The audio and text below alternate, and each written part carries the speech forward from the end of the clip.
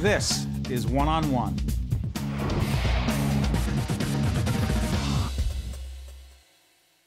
Richard E. Polton, author of the book The Life and Times of Fred Wesley Wentworth, the architect who shaped Paterson, New Jersey and its people.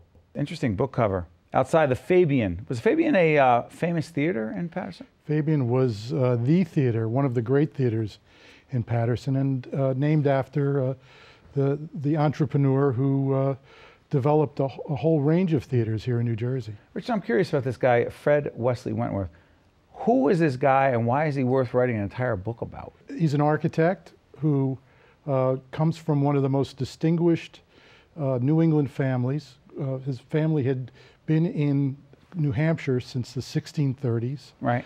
Um, and he graduated from Dartmouth in 1887. I had a picture of him right there. Yeah. And, and of all the places in the world for an Ivy League uh, blue blood to arrive, he picks Paterson, New Jersey, and it settles here in 1889. And uh, uh, his story is really the story of the growth of Paterson, uh, and it encompasses a whole array of, of issues that, uh, that have shaped our city. For example? For example, he, he, he was, uh, for the first 20 years of his life, or of his career here in Paterson, he's the architect for the leading industrialists and leading citizens of the, of, of the area uh, designing large homes, uh, supervising the construction of the courthouse here in Paterson, designing schools, and uh, all of the civic institutions. We're looking at right there. Is that the uh, Atwood family? That's the Atwood family in a home that he designed in Oradell for another New Englander who moved to New York and made his fortune. The, Mr. Atwood was uh, made made a significant amount of money by bringing grapefruit from Florida uh, into the into the American market. Is that right? And and that's one of the things about that era is that Wentworth had a whole array of clients: Garrett Hobart, John Griggs, who was uh, a vice a, a, a, governor of the state of New Jersey and the Attorney General of the United States. Out of Paterson. All out of Paterson. You know, it's interesting. We should remind folks that we're doing while one-on-one tapes, uh, our programming over at Lincoln Center and the Tisch WNET studio and all around. This is our primary studio in Paterson, New Jersey. Paterson is not as well known as it should be as an amazing city. Absolutely, and and in fact, driving in uh, to the studio, just across the across the way. We should make it clear we're part of the St. Joseph's campus here, St. Joseph's uh, Hospital campus. Right. Go ahead. In full view of your site is a building that Wentworth designed for that was occupied by Curtiss Wright, and that's the location where the airplane engine that Lindbergh used. Hold on, the Wright brothers well, it's the, the Wright brothers, but they got it. They they developed. Curtiss Wright was was largely an airplane engine manufacturing firm uh, that was a combination of the Wrights and and, uh, and, Curtiss. And for for many years they were based here in Paterson, in a building Wentworth designed, and those are the aircraft engines that uh, that flew the Enola Gay and Lindbergh's uh, wow. Spirit of St. Louis.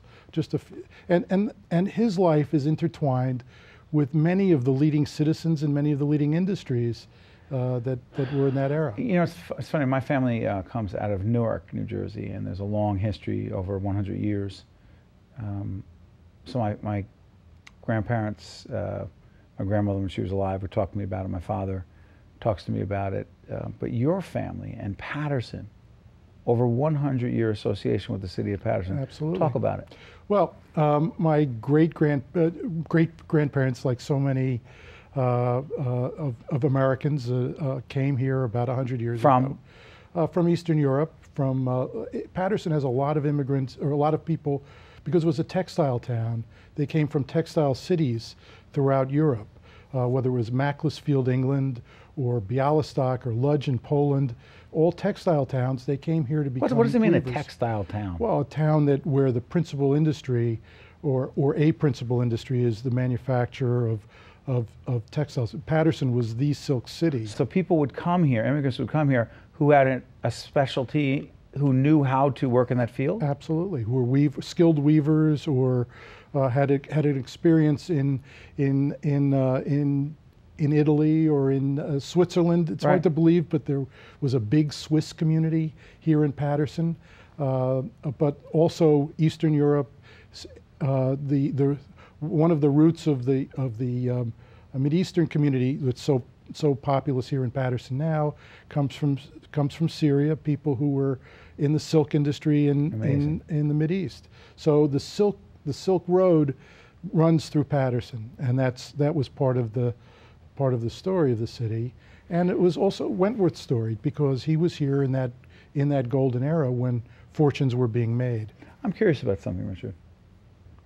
The connection between architecture and a city, the life of a city, the culture of a city, the brand, one of my favorite words, of a city. Right. The connection between architecture and a city. Am I making too much of it? No, not at all. And I think that Paterson has an amazing opportunity to, to rebuild its brand as its identity through its architectural history, and, it, and, and there's efforts being made to do that in, in, the Great Falls National Park. Yeah, time out. So I think Paterson, I think the Falls. Yeah.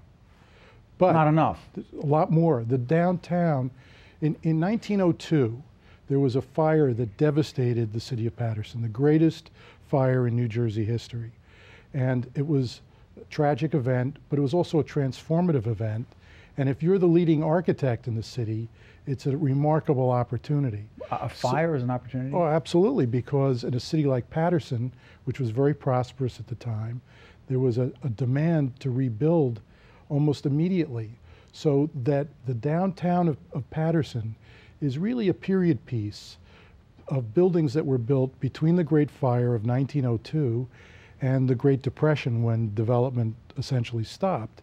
Now, a lot has been lost to urban renewal and, and, and redevelopment. Go, go back to the shot of the Fabian again, if we could, the opening shot. So the Fabian, do you know when it was built? Yeah, it was built in the late 1920s, opened in the late 1920s, probably 1928. Hold on, because there, there's a reason I asked that. That's in the middle of the Depression. Well, just before the Depression. The 1929 was the stock market okay, crash. so hold on. The 30s was, was really the Depression. If the Fabian had not been built then, it would not have been built. Absolutely not. Absolutely. There it is. Uh, absolutely not. So and it had to be built at that time. It, it, did, and it was it was part of a movement that was going on, to of where downtowns were the center of entertainment and culture and life, and the Fabian Theater is is the quintessential Wentworth building because it contained office building, an office right. building for the leading citizens of the town, this fabulous movie theater, and a little known fact is that it had a had a health club in the basement. Get out of here. It did. So people lived in Paterson, worked in Paterson, played in Paterson. This was this was like a little new. I don't want to say a little New York because no. it had an own, its own. It had its identity. own identity, and it was it was a major metropolitan area with five movie theaters yeah. and two major department stores. Go out and get this book. The Life and Times of Fred Wesley Wentworth, the architect who shaped Paterson, New Jersey, and its people.